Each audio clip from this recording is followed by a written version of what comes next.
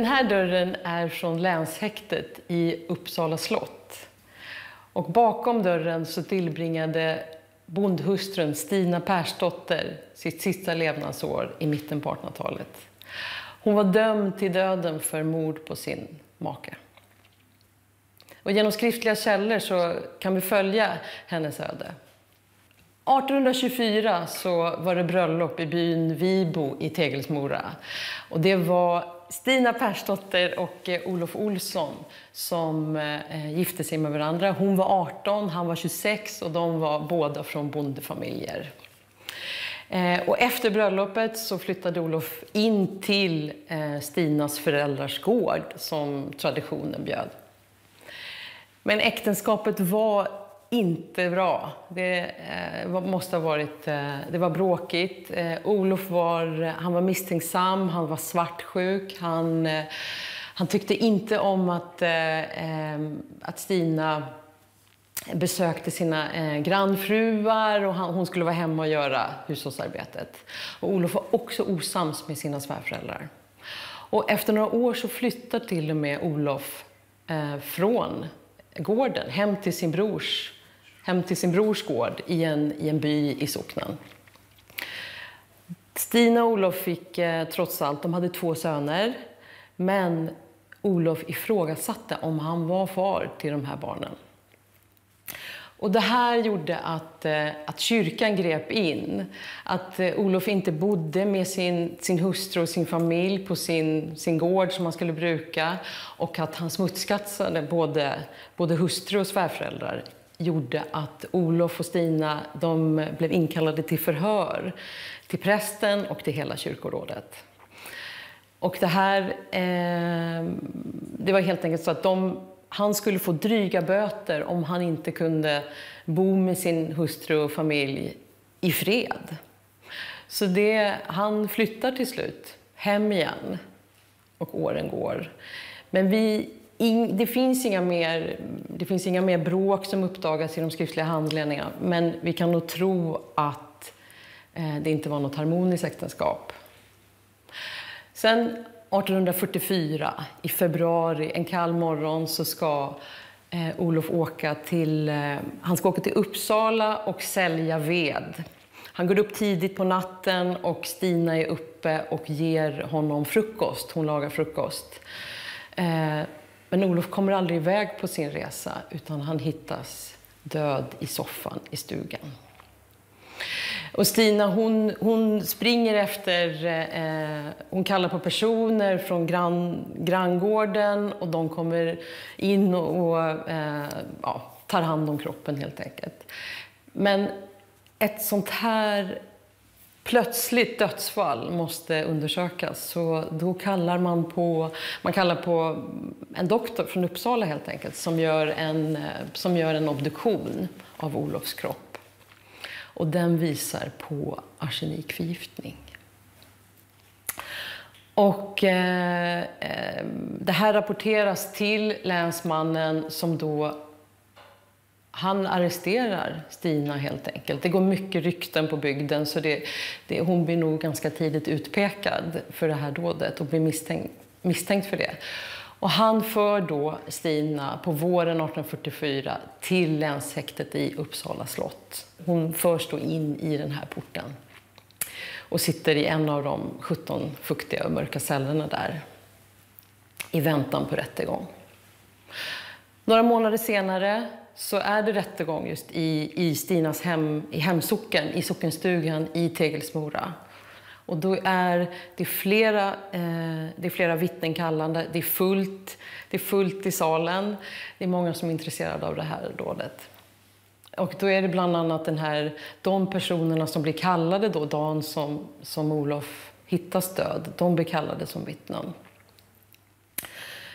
Och de berättar att flera månader tidigare så har Stina hon har pratat om att eh, faktiskt ta livet av sin, sin man för att han var, så, han var så elak, han var stygg och som det står i de här handlingarna att hon, Stina, hon önskade lite frihet. Står det. Eh, så hon vittnar helt enkelt. De, de pekar ut att de, hon, har, hon har pratat om det här. Hon har pratat om det här mordet tidigare. Eh, och att, att han, eh, det, var, det var osämja i äktenskapet helt enkelt. Och vid den här tingsrätten så var också Stina var också förd dit för att föra sin, sin talan. Och hon inför den här rätten och, eh, och församlingen så, så ja, hon erkänner brottet helt enkelt. Hon har mördat honom. Eh, vi får aldrig någon motivering varför. Hon, hon, eh, det kommer aldrig, vi vet inte om rätten inte låter henne berätta motivet, orsaken, men det, det står inte i de här handlingarna.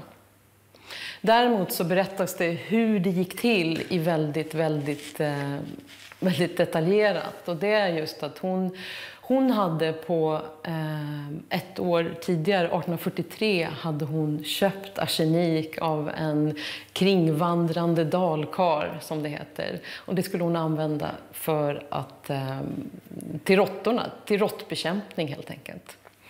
Och det kanske hon gjorde, men hon sparade lite av giftet. Och ett år senare ungefär så, så kan man tolka då att hon har fått nog av Olof. Och morgonen när han går upp, hon ska laga hans frukost. Eh, han, hon lagar, det står lutfisk, det står väldigt detaljerat vad han har ätit också. Att hon lagar lutfisk med mjölksås och eh, stekt fläsk, grynkorv och han sköljer ner det här med, med flera supar. Och hon beskriver då hur hon har blandat arsenik i såsen. Och eh, han dör väldigt eh, snabbt där, bara några timmar senare. Han kommer aldrig iväg på resan och bara ett par timmar senare så dör han där på soffan hemma. Och det här är ett av, en av, ett av vittnena. Hon berättar att eh, Stina har ju berättat om, hon har planerat dådet och det är att tanken var att hon skulle ge så mycket gift så att Olof skulle komma iväg på resan men att han skulle inte, han skulle inte dö förrän i Uppsala och då skulle inte hon bli misstänkliggjord. Så hon, eh, hon erkänner i den här eh, rättegången och blir då återigen förd till Uppsala slott, till länshäktet och sitter i en av de här, eh, i en av de här cellerna. Eh, och därefter så kommer det ytterligare en, en rättegång där, eh, där inte Stina är med, men där eh, domen då förkunnas. Och det är att hon ska för att uppsåtligt ha mördat sin make så ska hon dömas till halshuggning. Och det är det dådet, eller straffet som hon sitter i i flera månader och väntar på på Uppsala slott. Men en chans finns kvar att rädda livet på henne. Eh, och det är att söka nåd hos kungen.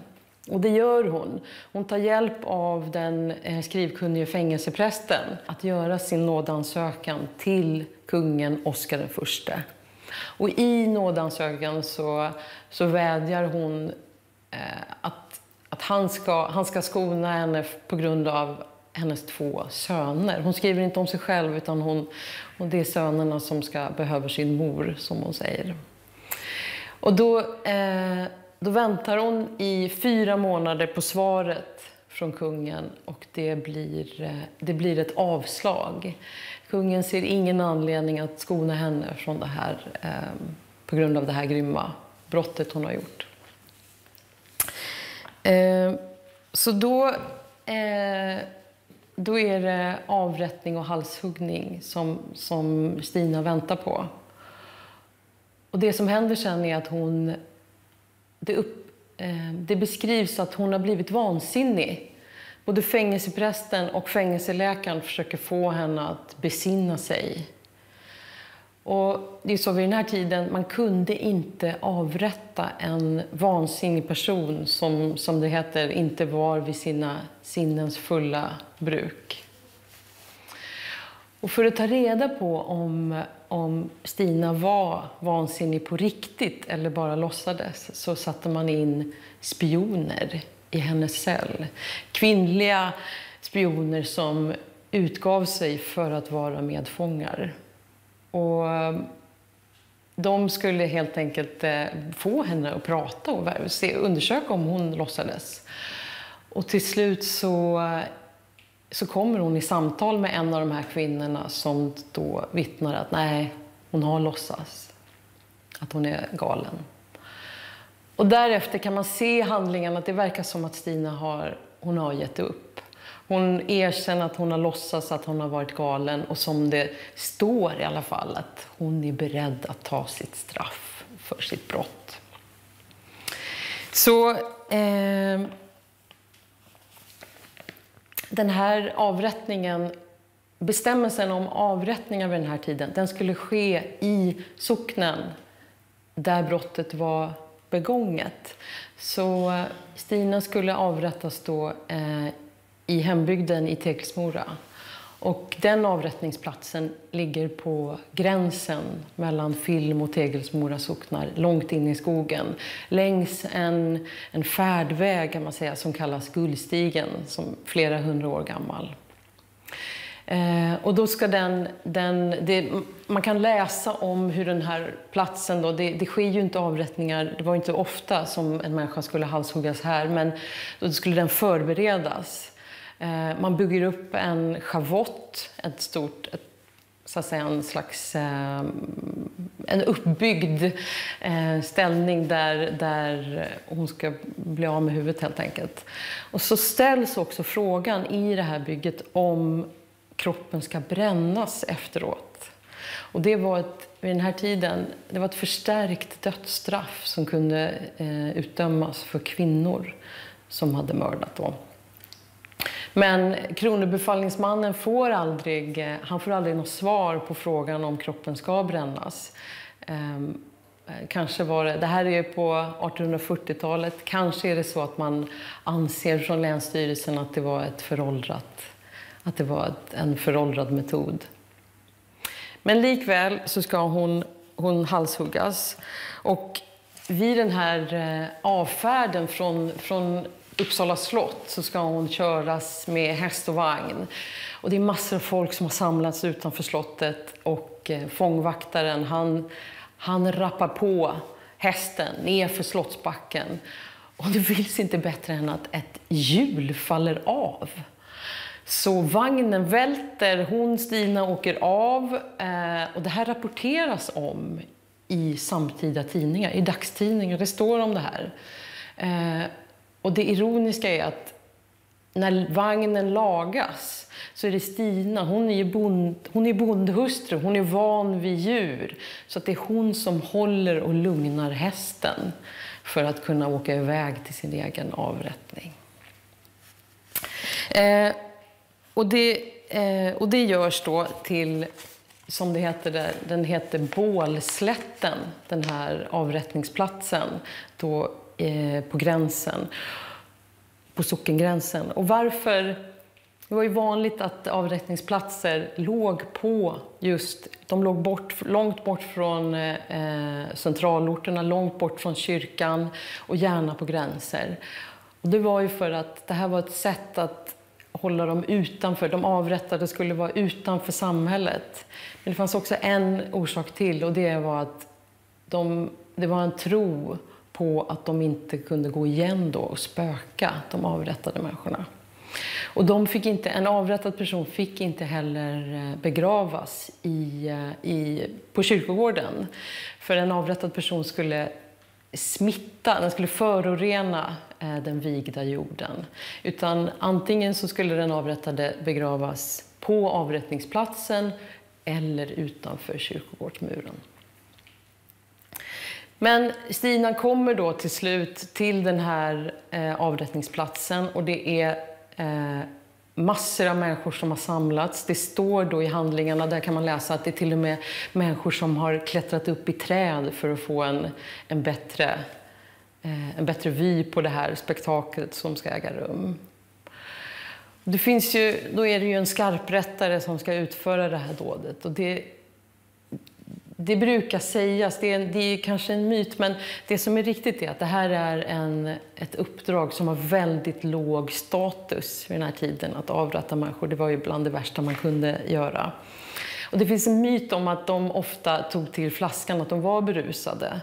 Men i det här fallet, vid avrättningen av Vibostina, så står det faktiskt att, när det rapporteras till Länsstyrelsen, så står det faktiskt att eh, han var berusad och behövde dessutom flera hugg för att eh, halshugga Stina.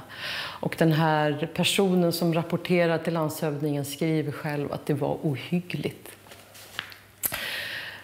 Ja, så slutar den 39-åriga Vibo Stinas liv.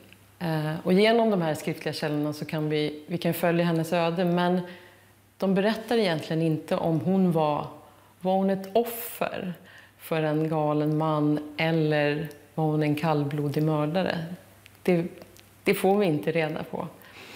Men det som finns kvar, det är den här avrättningsplatsen, finns ju kvar som en glänta i skogen längs den här eh, uråldriga färdvägen, Guldstigen. Några kilometer öster om Örbyhus kan man åka dit och hedra Vibo Stinas minne.